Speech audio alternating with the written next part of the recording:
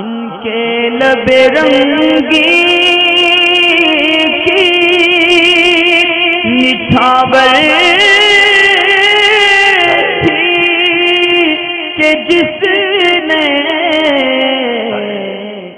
जफ़र खान पूछना चाहते हैं कि हालत सजदे में पैर के अंगूठे लगने का या ना लगने का क्या मसला है? यानी एक वीडियो बनाई थी पैर का अंगूठा नमाज़ में लगा रहे या उड़ जाए, उसके ताल्लुक से इन्होंने सवाल किया था कि शायद कोई ये पूछना चाहता हो कि पैर के सजदे में पैर का अंगूठा किस तरह लगाया जाए या उठाया जाए।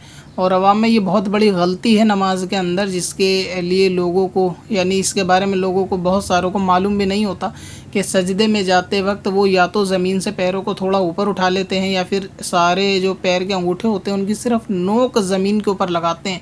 तो ऐसी सूरत में कि अगर नोक लगाई है, ज़मीन से पैर उठा लिया गया तो इस सूरत में उनकी नमाज़ नहीं होगी।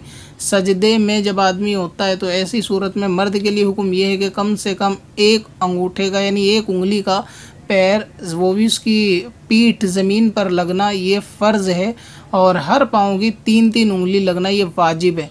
तो अगर बहुत सारे ऐसे भी होते हैं कि एक पैर टिका लेते हैं और एक पैर को उल्टा कर लेते हैं तो उनको चाहिए कि अच्छी तरह अंगूठे का जो पेट होता है, यानी ये चीज़ जो अंगूठे की नीचे की तरफ़ होती है, एक तो नाखून की साइड होता है और एक ये साइड होती है तो इस चीज़ को ज़मीन के ऊपर लगाना, कम से कम एक उंगली का सजदे में फ़र्ज़ है नमाज़ में, और तीन तीन उंगलियों को लगाना वाजिब। अब मिसाल के तौर पे समझ लीजिए, ये ज़मीन होती है तो उसमें क्या होता है कि बहुत सारे लोग सिर्फ़ अंगूठे को इस तरह टिकाते हैं, बहुत सारे उल्टा भी कर लेते हैं, नाखून की तरफ़ से पैर को। तो इस सूरत में अगर सबने, यानी सब पैर का हाल अगर ऐसा ही दस की दस उंगलियों को तो इस सूरत में नमाज़ नहीं होगी। तो हर उंगली को तीन तीन उंगली को ये चीज़ जो होती है इसको टिकाना बिल्कुल ज़मीन के ऊपर ये ज़रूरी है। और हर पैर की तीन तीन उंगली टिकेगी, तब जाके सजदा मुकम्मल होगा। अगर किसी एक पैर की तीन टिकी और दूसरे पैर की तीन नहीं टिकी तो ऐसी सूरत में ये वाजिब का तर्क होगा।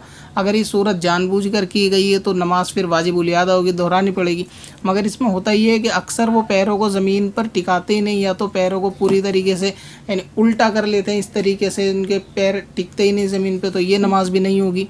तो याद रखें कि सजदे में जाते वक्त तीन तीन उंगलियाँ ज़मीन के ऊपर ज़रूर ज़रूर उसका पेट को अच्छी तरह से जमाएँ और दस की दस उंगलियाँ लगाना ये सुन्नत है।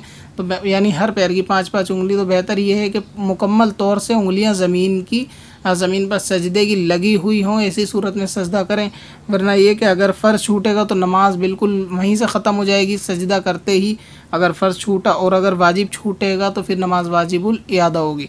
और अगर सुन्नत तर्क होगी तो नमाज़ लौटाना सुन्नत है, मगर ये कि सूरत में नमाज़ हो जाएगी तो बेहतर ये है कि सजदे में जाते वक्त इमाम साहब से एक दफ़ा रबता कर लिया जाए। अगर किसी को ये प्रैक्टिकल तरीका नहीं समझ में आ रहा मर्द को कि सजदे में किस तरह पैर की उंगली तीन तीन लगाना चाहिए और किस तरह नहीं चाहिए तो वो आपको तफसील से समझाएँगे। और औरत के लिए हुक्म ये है कि वो सीधी जानब दोनों पैर निकाले, यानी औरत के लिए हुक्म नहीं है, ना ही उनके लिए वाजिब है तो वो सजदा उसी तरह करें जिस तरह ख़वातीन सजदा करती हैं, यानी ज़मीन से लिपट कर और पैर को दाएँ तरफ़ निकाल कर उनके पैर का अंगूठा लगना या उंगलियाँ लगना इस सूरत में ये वाजिब नहीं है। बहुत सारी ख़वातीन होती हैं कि वो पैर की उंगली लगाती हैं या मर्दाना मुशाबहत पे सजदा करती हैं। ये बिल्कुल गलत तरीका है।